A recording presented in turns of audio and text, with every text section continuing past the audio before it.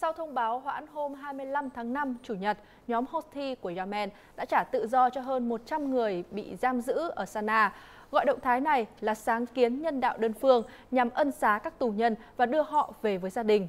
Người đứng đầu Ủy ban các vấn đề tù nhân do Houthi điều hành cho biết hầu hết tù nhân được thả tự do đều là người bệnh.